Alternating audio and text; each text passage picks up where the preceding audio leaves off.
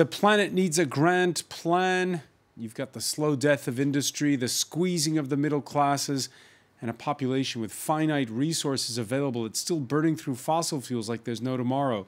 You need a grand plan, says uh, with uh, France's president learning that the hard way when he piecemeal tried to implement a carbon tax on fuel at the pump.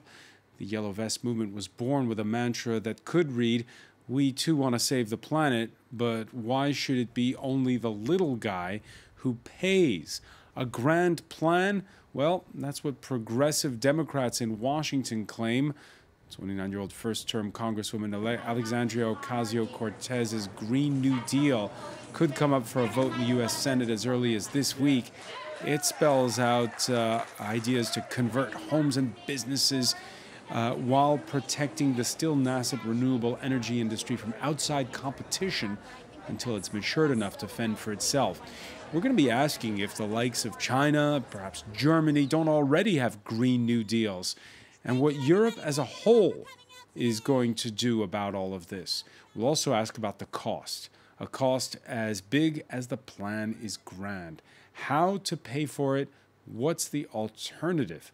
To thinking big on this one. Today in the France 24 debate, we're wondering is it time for a Green New Deal? Joining us from New York City, journalist uh, Kate Aronoff. Thank you for joining us. Thanks for having me. From Berkeley, California, Michael Shellenberger, energy and environment journalist at Forbes magazine. Welcome to the show.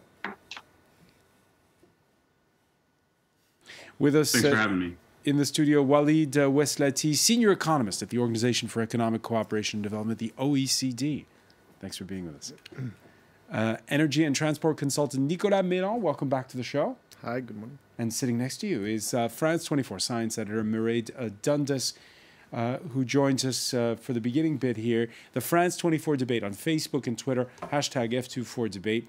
Yeah, it could be up for a vote in the Senate as early as this week. The Green New Deal touted as much more than an environmental protection bill. The Green New Deal is not my legislation. The Green New Deal is the legislation of indigenous communities in the United States. The Green New Deal is the legislation of the residents of Flint. The Green New Deal belongs to the people of Puerto Rico. The Green New Deal belongs to the coal miners in West Virginia. It belongs to the victims of wildfires in California. And when we center our communities and allow them to lead, anything is possible. Yeah, it's a reminder. Uh, her remarks there, uh, Mary, about the extreme weather that uh, we've been witnessing in the United States and elsewhere, like your native Australia, the, these uh, the, this past year. What is though this Green New Deal exactly? Well, in fact, it's called a deal. It's actually a resolution. There was 14 page of it, pages of it. The name harks back to President Franklin D. Roosevelt's New Deal, which was back in the 1930s. It was an attempt to uh, put Americans back to work during the Great Depression. This, I think it would be fair to say, is more of a list of ideas and ideals than an actual proposal. For example, as you mentioned, over the next 10 years, it involves um, getting 100% of power from renewable and clean sources. It talks about upgrading all existing buildings and new buildings to state of the art uh, energy efficiency. It talks about ramping up high speed rail to the point that air travel would be rendered obsolete, perhaps eventually. But it's more broad than that, as you touched on. This green, uh, new Green Deal aspires to have a what they call a living wage job for every American who wants one, and Broad, more broadly than that, again, it talks about universal healthcare for everyone. So there's no question there that is an ambitious deal, but one that is in broad strokes rather than um, mapping out specific legislation. Yeah, so resolutions, and do they go into the specifics of the cost? There's absolutely no talk of cost. There are, is a mention that it will require dramatic tax hikes, but the deal it's tax hikes, but the deal itself admits that the the cost of funding these ambitions would outweigh anything they could squeeze out of wealthy Americans, and that's perhaps one of the biggest critics of the deal. Others have described it as pie in the sky ambitious uh, ambitions, a um, unnecessarily long dear Santa list on the other side, those in favour have said it's exactly what realistic environmental policy looks like. Uh, is it realistic, Kate Aronoff? I think it's really the only realistic plan on the table for actually dealing with the existential threat of climate change. We have not seen meaningful legislation even proposed in the United States on climate change in 10 years. Um, and as the IPCC report detailed, um, we have only about 12 years to start really stripping fossil fuels and carbon emissions from our economy. And so I think it's certainly a very ambitious plan in uh, the political moment that we're in right now. Um, but if you really look at the sort of hard science, there are um, you know climate scientists increasingly saying we need a wartime footing to rein in carbon emissions and greenhouse gas emissions, and this is really the only plan out there to do that. Michael Schellenberg, uh, uh, you uh, two two birds with one stone here. At the, you at the same time uh, kickstart manufacturing and industry uh, while saving the planet. What's not to like?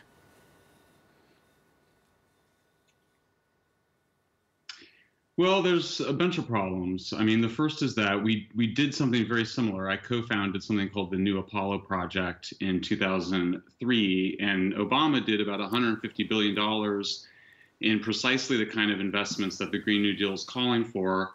A lot of that money was wasted. 24 billion for biofuels, which actually turn out to be more polluting than fossil fuels and also destroy rainforests. We did, I think, at least 15 billion on the kind of weatherization of buildings, the energy efficiency of buildings that the Green New Deal calls for. That money was almost entirely wasted. It cost twice as much to do the retrofits than we got in energy savings.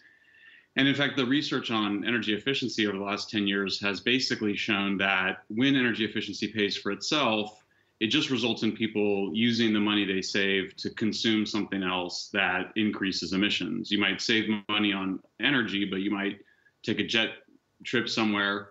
Um, or if it costs more than it's worth, then you have to ask why you're doing it. Um, if you're looking to radically reduce the carbon intensity, the emissions from your energy sector, then you would just do what France did. France and Sweden are the only two countries that have uh, achieved what is called sort of complete decarbonization of their electricity supplies, and they did so with nuclear power. Um, and if you look at Germany, Germany has had the biggest Green New Deal of the last uh, couple of decades. They are going to have spent $580 billion on renewables by 2025, and emissions have not gone down since 2009. That's despite ton, huge amounts of solar and wind, and one of the big reasons is that they've been phasing out nuclear power. So solving climate change basically just involves using nuclear rather than fossil fuels. But if you really are afraid of nuclear, you think it's something related to the bomb or that it creates a kind of way of life that people don't like, um, then you're stuck trying to do renewables, which really haven't worked to significantly reduce the carbon intensity of our energy supplies. Is that true, Walid Oueslati, that renewables haven't uh, fulfilled their potential? No, I think renewable have a big potential in this uh, pathway for a sustainable future. Um, we have enough uh, resources that if we mobilize this correctly in the good way, I think we, we will solve a part of it. But it's a question of time, you know, because we are in a process to deploy a lot of financial resources, but also uh, technological science, uh, new knowledge uh, according to that. let's take the big picture on that, which is very important in my sense. Today we are in very critical situation, you know.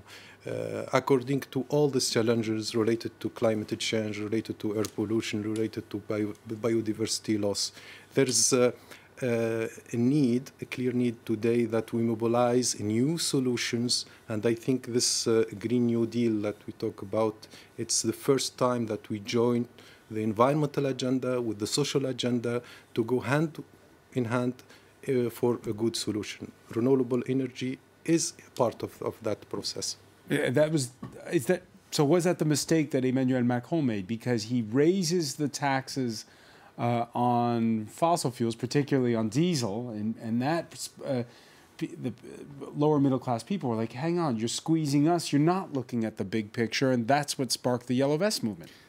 Well, maybe because he forgot to raise the tax on on planes on on the on the fuel for, for plane, which, as you may know, is there is no tax on, on fuel since the 19 44 and uh, Chicago Convention, if I'm correct.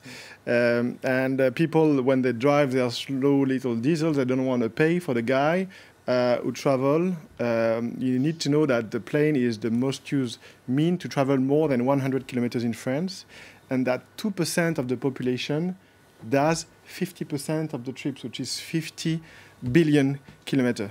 So it, I think it's normal that those guys they don't want to pay for those two percent who don't pay, and not only they don't pay on, on the fuel tax, but also the CO2 emission from those those planes disappear. They do not exist.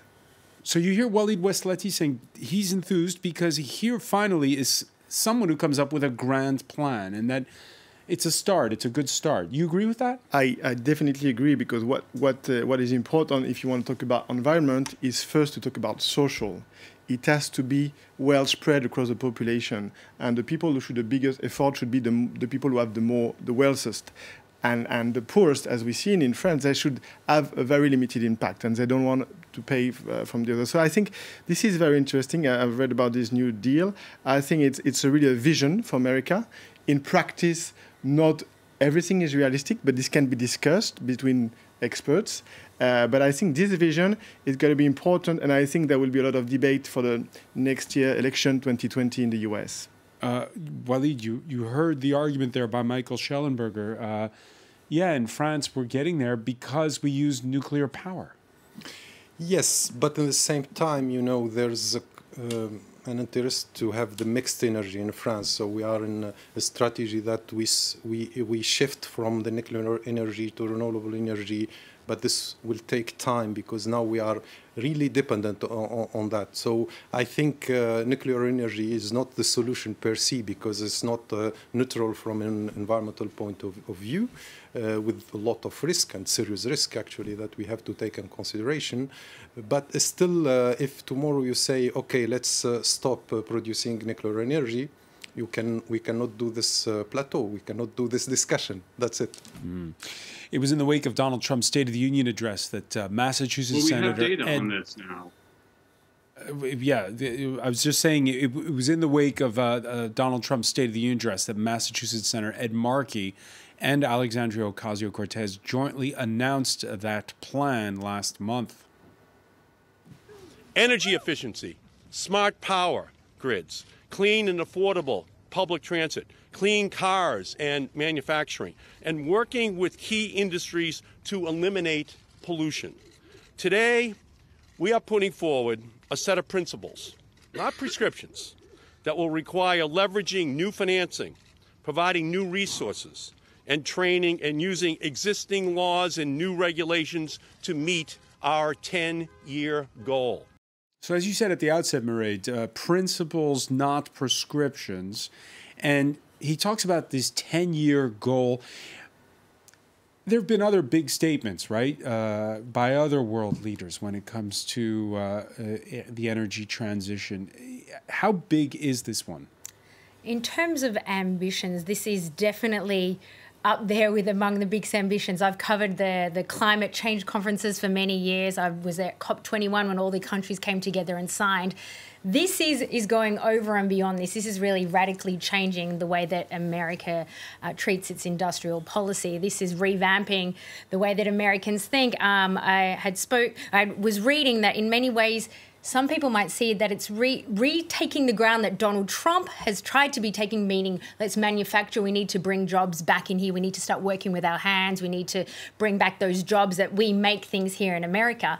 And this is actually calling for that, but with a different focus. This is calling to transform the old way of think- doing industrial policy and changing it to a way that has a green focus rather than doing business as usual. But Kate Aronoff, the problem in the U.S., if I'm uh, not mistaken, is that those uh, who are being squeezed out of jobs are low skilled. If uh, this Green New Deal gets put into place, should the money be in manufacturing or in education?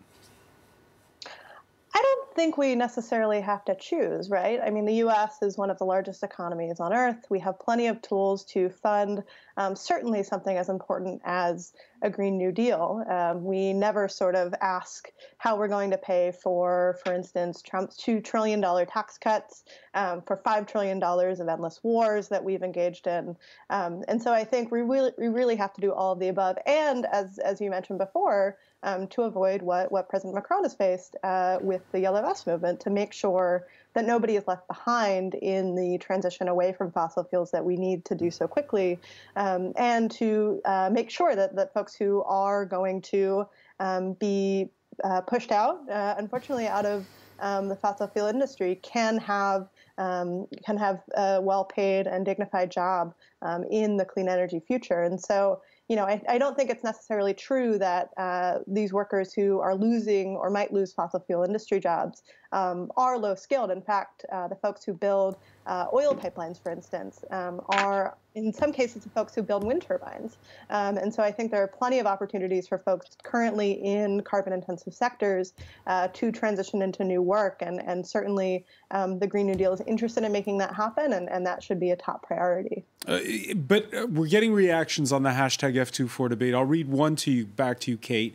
Uh, it will succeed only the Green New Deal if the working and middle classes are fully engaged, heart, body, and soul. This necessitates shifting a good measure of wealth and power from the oligarch rulers back to the people. I see no other way. Is it going to quickly descend, Kate, into an us versus them kind of political debate?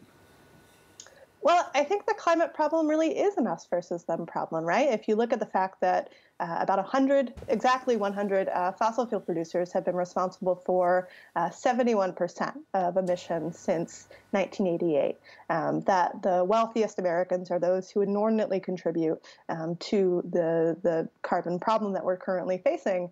Um, the lines are really very clear. And I think, you know, as, as has been brought up before in this debate, um, the middle and working classes should not be the ones who bear the burden of this transition. Um, and there's no reason reason why they have to be. In fact, as the resolution for a Green New Deal states, the uh, the Green New Deal can improve people's qualities of life, actually. And it is really fossil fuel executives um, and the sort of wealthiest Americans who are taking, you know, regular transatlantic flights from London to New York um, who may have to make some sacrifices. But there's absolutely no reason why um, the folks who, who have contributed least to this crisis should be um, should be paying for it.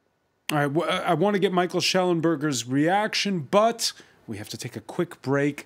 We'll be right back. Stay with us. You're watching the France 24 debate.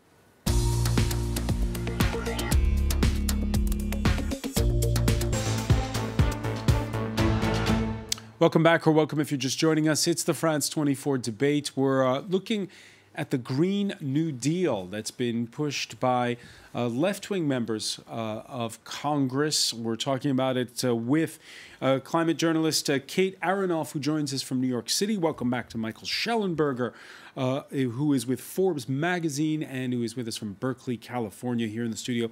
Walid Oueslati, senior economist at the Organization of Economic Cooperation and Development, the OECD. Nicolas Meilhan, who is with us as well business and environment and transport uh, consultant. And uh, we want to welcome for part two of our discussion Marjan Minnesma, director of the Urgenda Foundation, which uh, advocates for the transition towards a circular economy. Uh, what's a circular economy? Explain that to us. Circular economy uh, uses all raw materials again and again, and it's based on 100% renewable energy and also has an eye for biodiversity. So it's an integrated concept that tries to go for the new economy that we really need. All right. Well, we're going to talk more about uh, how you push for those renewable energies in a moment. First, though, I want to turn my attention to, to, to Michael Shellenberger.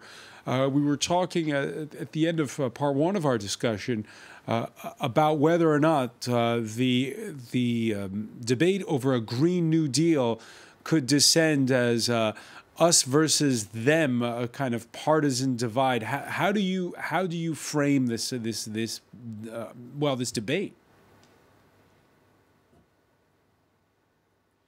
Well, there, it doesn't need to be a, a partisan divide. I mean, the, the, our largest source of zero emissions energy, the biggest contributor to preventing climate change, is nuclear power. And nuclear power tends to be favored by Republicans and conservatives and climate skeptics. I mean, Germany has been doing a Green New Deal. It's going to have spent $580 billion by 2025. And by the end of that period, it's going to have seen its electricity prices rise 50%.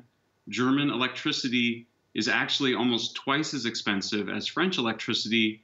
And yet, German electricity produces 10 times the carbon emissions per unit of energy as French electricity. So, all you need to know about solving climate change, you can learn from France and Germany. Um, there was some mention here, I think, of someone saying, well, France needs to move to renewables. Well, not for climate change. France is the model of how you deal with climate change. In fact, over the last 10 years, France has spent 33 billion trying to move to renewables by doing less nuclear. And what's happened?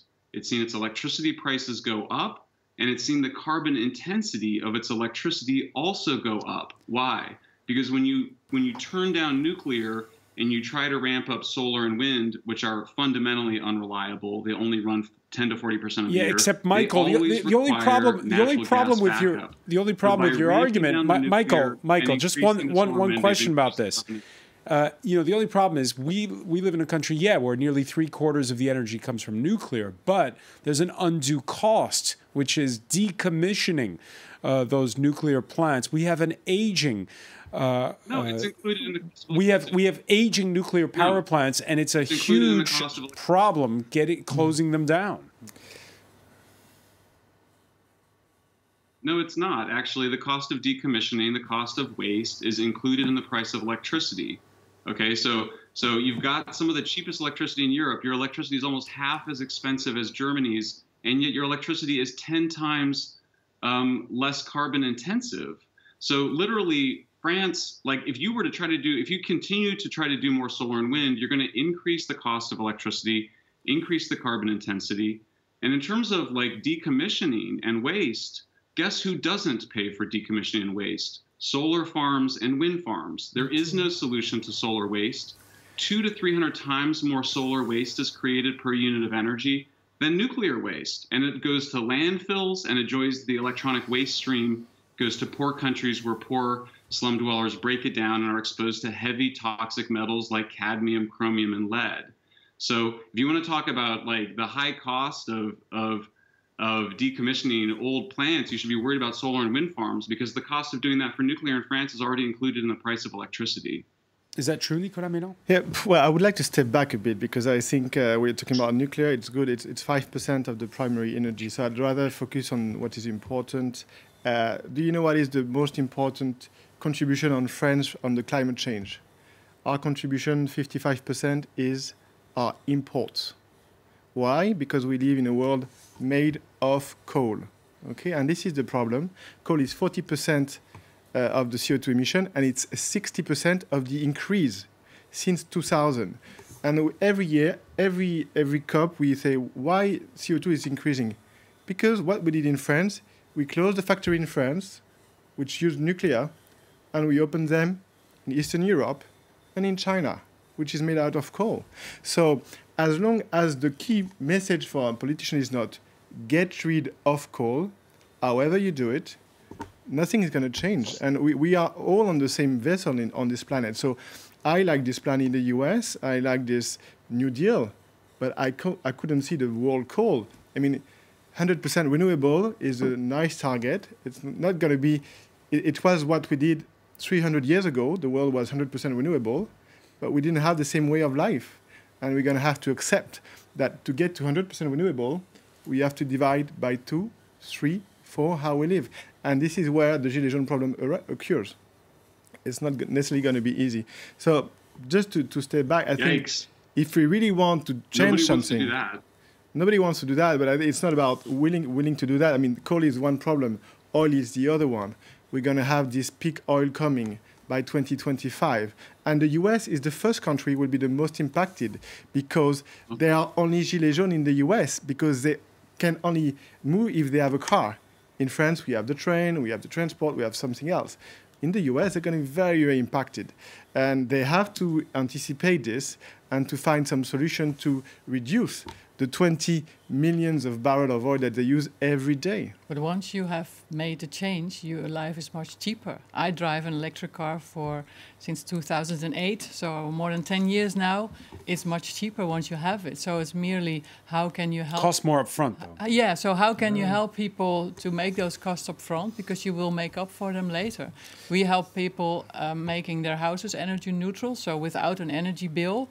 Uh, it costs roughly in the Netherlands 35,000 euros for a house. That's also what they pay on energy in 15 years' time. So if you help them with the financial means, they can pay it back in 15 years for the same amount per month as they now pay on energy. So there's plenty solutions which don't have Yeah. to cost additionally. The Netherlands, which is talking about carbon neutral rail lines. They are already, yes. And uh, but can that work when you have high speed rail like you do in France and like they want to do in, in California where Michael is? It, it will take a little bit more windmills, but uh, yes, of course. There is plenty of space, there's plenty of sun and wind. It's merely you have to take the investment at a certain point of time and write it off over 20, 25 years. But it's not a problem that it's, that it's not there. We just have to make the choice. What do we want? Spend trillions on climate damages, which will come if we don't change, or invest now. And the investments now are lower than the cost that we will have later. But we don't want to see this. M- Michael Shellenberger, you, you agree with that? Probably not. I mean, we. This is just. I mean, there's actually real world evidence here. So Germany, as its transitioned to solar and wind, has seen its electricity prices go up 50%. That's actually that's actually included in the recent OECD report on. Germany. Um, the only places that have decarbonized transportation at significant levels are places that have done so with nuclear. You mentioned high speed rail. High speed rail in nuclear is zero emissions uh, transportation. In fact, the only cases where we've significantly decarbonized transportation is with nuclear. So it's not like th- this data is not like it's not mysterious. When you add more renewables to your grid, electricity costs must go up, and that's a function of the unreliability of solar and wind. This is very well documented by an economist in Germany who's not particularly pro nuclear at all, um, Lion Hirth, and he documents how for every 15 to 40% of solar and wind that you add to the grid, the value must go down by I have around completely half other data. because so. you're always having to run some other source of power whenever the sun goes behind a cloud or the wind or, or the wind stops blowing. So if you just need an example of how not to deal with climate change, Germany's emissions are 10 times more carbon, or Germany's electricity is 10 times more carbon intensive than France's, and it spends um, almost twice as much on electricity. What else do you need to know? All right. Uh, the Germans call it Energiewende. That's uh, energy transition in German. In 2017, they used one third less energy. They were less energy intensive than the U.S. With the Germans paying, yes, two and a half times more than Americans for their energy, as Michael rightly points out. Uh, utility bills are more expensive in Germany. Uh, but the U.S. produces a whopping 64% more coal per person. That's according to the Global Energy Statistics Yearbook. Uh, Walid Wa- Oueslati, what's what's a bit frustrating in these discussions is everybody can bring out their own facts, their own statistics that, that- to to make their point. When you look at the mix, again, we were talking here about a, a, a Green New Deal. When you look at the grand plan, how do you do this transition? I think which is needed is uh, a deep behavioral change that we have because even in our discussion and the way how we address and we focus on the nuclear energy means that we didn't get clearly the the scope of the and the magnitude of the challenge that we are heading now.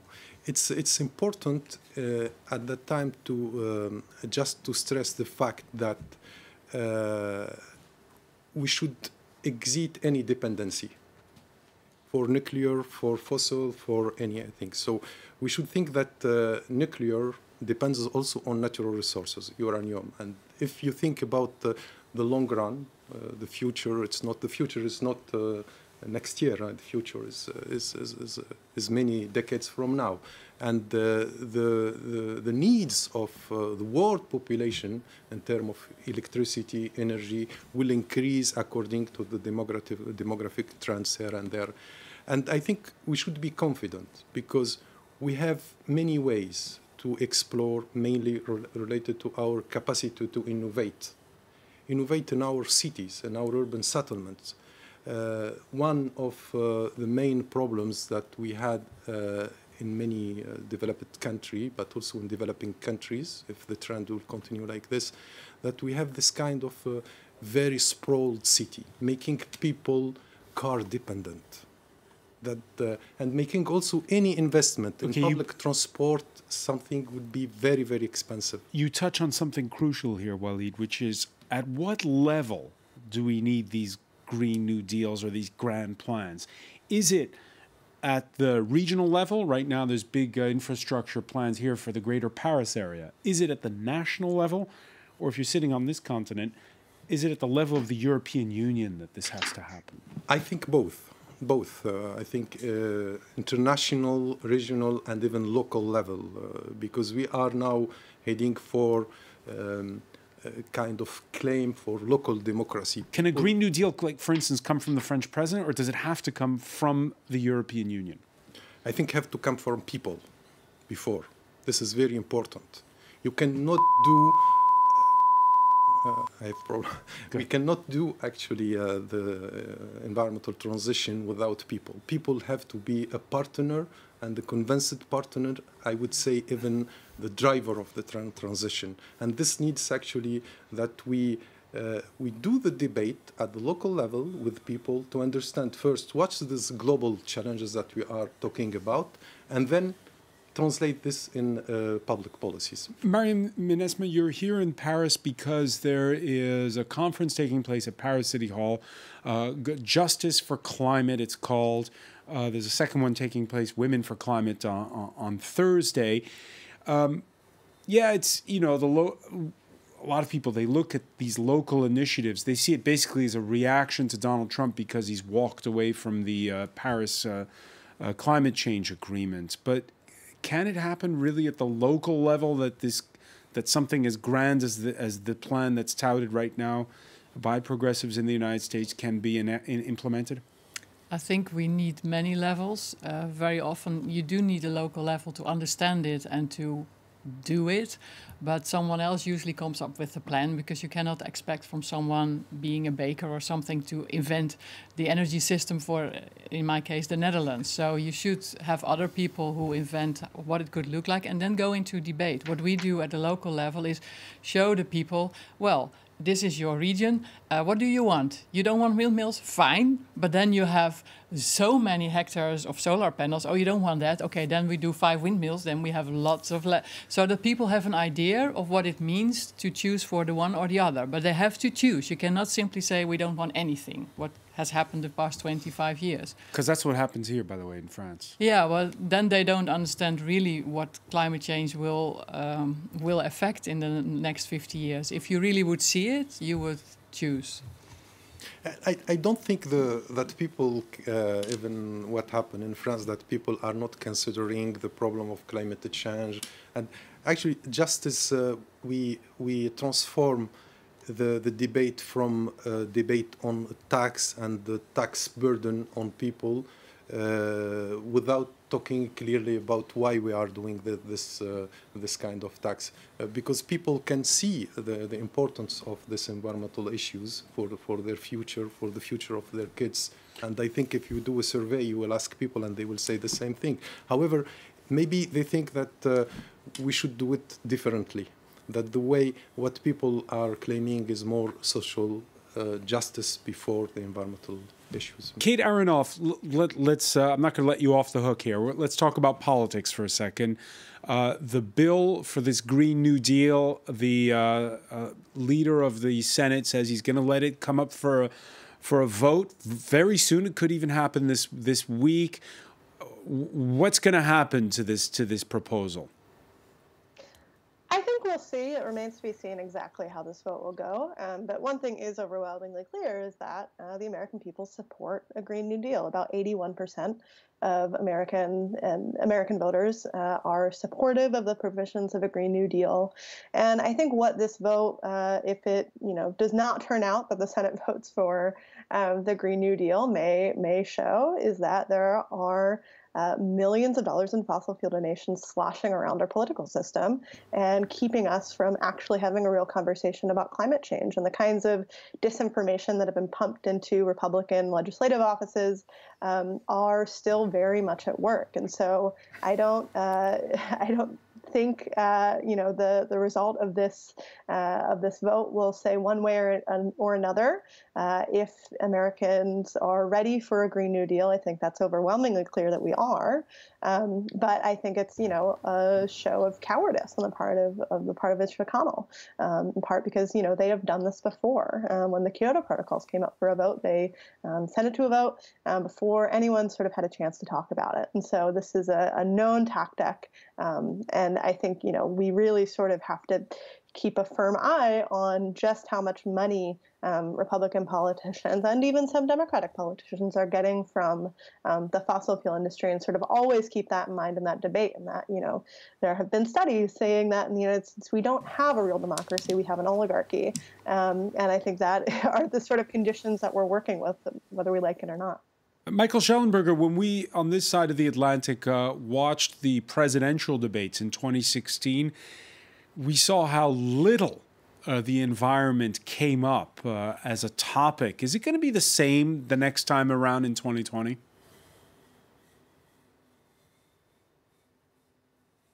Probably. I mean, it's not like, I mean, the pu public opinion on climate change has basically been the same for like 20 or 30 years. There's there's support for doing something about it. It's not particularly strong. Um, you know, it's hard to take I, I think if you want to know why Republicans in the United States often think that climate change is a hoax, part of it is because the people that are calling for action, dramatic action on climate change, are also trying to shut down our largest source of clean energy, which is nuclear power.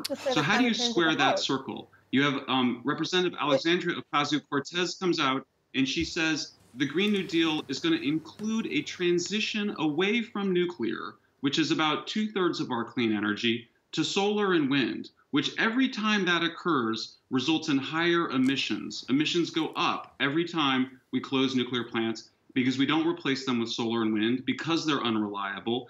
And you start to think, is this really about the climate actually? If they're trying to do something on the one hand that would actually increase emissions, or is this about actually supporting a bunch of interest groups that want to do that want to get money for installing solar panels and retrofitting buildings maybe it doesn't really have to do with climate change. So if you want to know who has fed the cynicism that has been bred in the United States and I think in Europe, you know, how do you take seriously somebody who says the world will end if we don't cut emissions and then they're out there trying to shut down nuclear plants? It doesn't make any sense. Kate, Kate um, Aronoff, Kate Aronoff, let me let me hear Kate on this. Go ahead, when Kate. When I pointed this out when she came out yeah. with the deal, it became a small crisis within the Democratic Party. Excuse me. Um, yeah, the reason that Republicans are and, and I think the guests who kind of go, oh, the decommissioning costs. Wait, well, one, one at a time. Kate, Kate Aronoff. The materials throughput, it's all low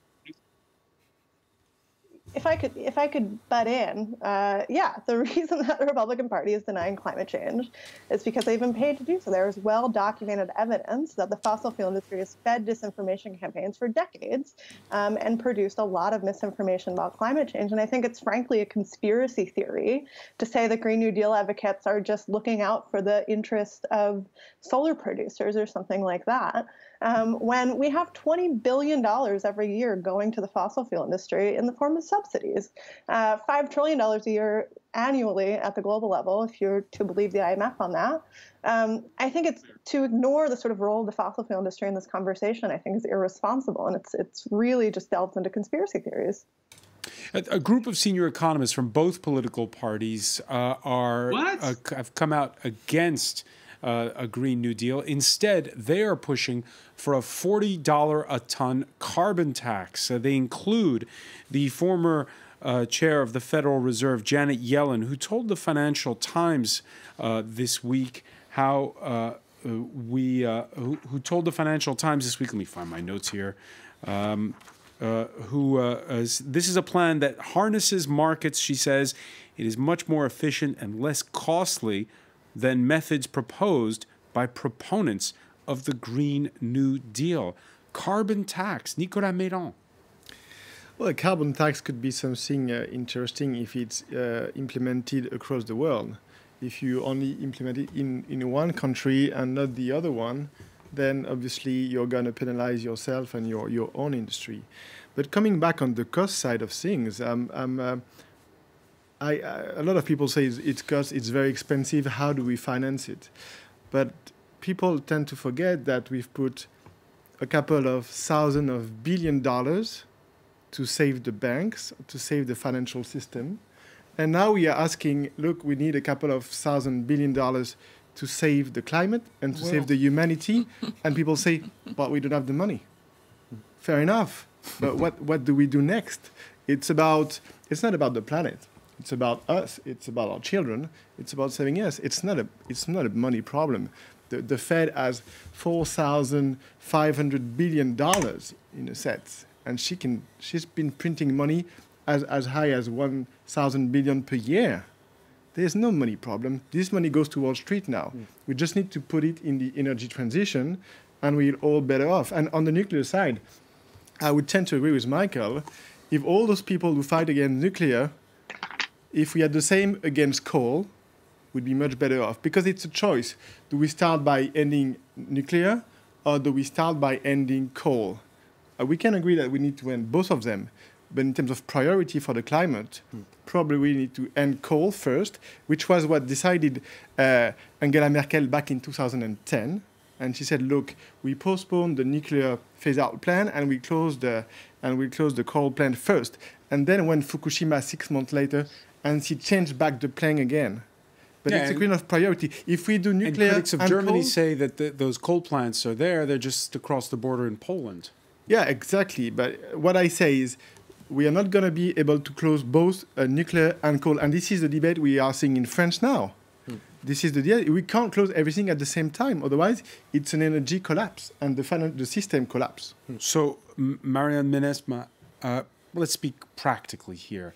How fast do you go towards 100% renewables as, as uh, is touted uh, in this Green New Deal proposal? Well, we are not going fast enough, but in principle, we could be there within 15 years if we really wanted to.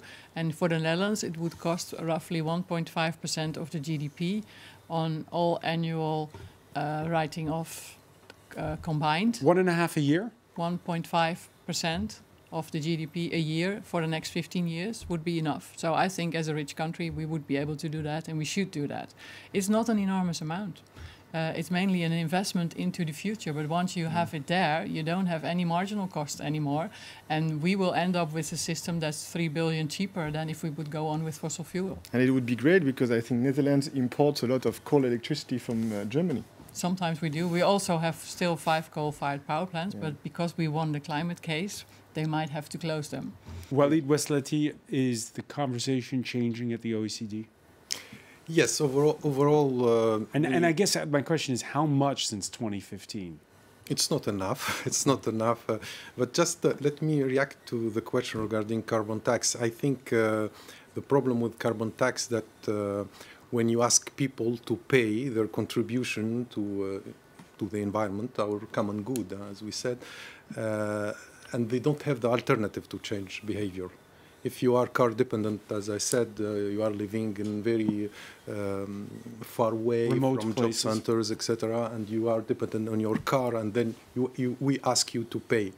It's not the sense of the carbon tax. The carbon tax is to give incentive to people to change their behavior, to make things their mobility different. For this reason, I think, uh, which is uh, the high priority uh, to make it possible and efficient, is to invest massively in public transport, shared mobility, soft mobility, this kind of things mm. that give people uh, idea about it. Another point is how very briefly because we're out of time. Yeah, how we use the revenue of this ca tax carbon. Because if this tax carbon revenue are injected in the budget, government budget, and we don't know where, where it goes, then people can ask the question, why you are doing that reform in that sense and you don't uh, take the money from other side. And this is very important that you have to think when you talk about carbon tax about two criteria. The first one, where the money go, if it goes to investment in public transport or other thing. And the second thing that you have to take in consideration right. the regressive aspect of an accountable transition is what you're arguing for. Walid Oueslati, I want to thank you. I want to thank as well uh, Nicolas Meilhan, uh, Marjan uh, Minnesma for being with us. I want to thank uh, from Berkeley, California, Michael uh, Shellenberger, and from New York City, Kate Aronoff. Thank you for joining us here in the France 24 debate.